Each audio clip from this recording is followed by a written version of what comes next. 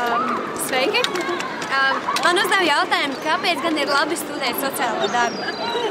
Es esmu ar, gat ar pilnu gatavību atbildēt uz šo jautājumu, jo es nemirkli no saviem trīs studiju gadiem nemirkli nenožēloju to, ka es izvēlējos studēt sociālo darbu.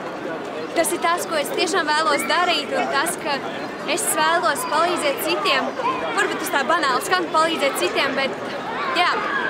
Un um, tas studijas šeit, arī stradiņos un vispār paver ļoti lielas iespējas. Pirmkārt, tas arī palielina tavu iekšējo pasauli. Kad tas, ko stāsta, tas ir attiecināms ne tikai uz tavu profesionālo jomu, bet to tu vari arī paņemt sev. Tas veido arī tavu personību. Tāpēc studijas ir ļoti liederīgas un ļoti dziļas. Un, uh, tiešām priekš manis viņas ir devusi ļoti lielu iespaidu un ļoti ietekmējuši manu dzīvi.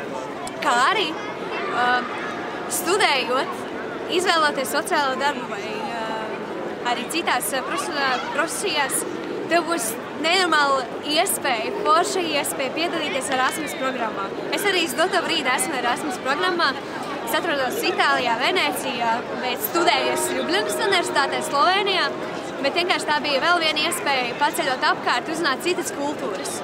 Tā kā es tevi iedrošinu izvēlēties sociālo darbu, un es zinu, ka ja tu jūti uh, aicinājumu šajā, šajā profesijā, tad tu nenožēlos, ka tu studēji tieši šajā universitātē, tieši pie mums.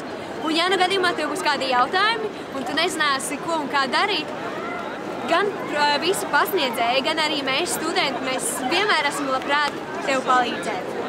Nāc un studē! And the walls kept tumbling down in the city that we love. Grey clouds all over the hills, bringing darkness from above. But if you close your eyes, does it almost feel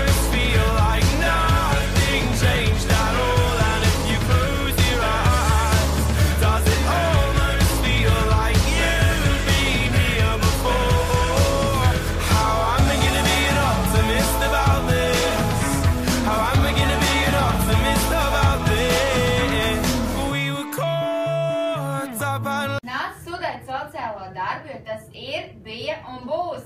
Sabiedrības stiprākais balsts! Nepaliec malā! Sniedz roku tuneļa